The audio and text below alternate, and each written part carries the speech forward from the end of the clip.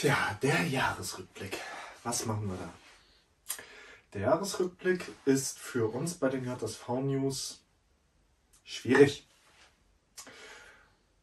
weil wir unbedingt allen gerecht werden möchten, weil wir aber auch nicht von allen gleichermaßen Material bekommen.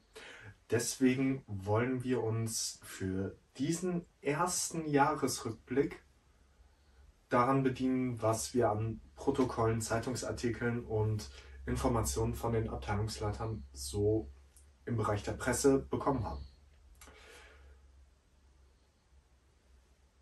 Das Jahr war schwierig, keine Frage.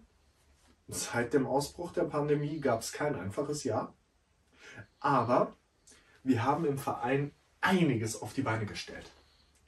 Und um diese Arbeit auch nochmal hier auf dieser Plattform zu würdigen, finde ich, dass ein Jahresrückblick, finden wir, dass ein Jahresrückblick mehr als angemessen ist.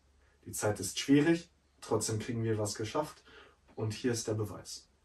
Im Folgenden präsentieren wir in einer ganz einfachen Slideshow Achievements, also Errungenschaften, Erfolge und einfach auch, was im Verein abgelaufen ist, der einzelnen Abteilungen.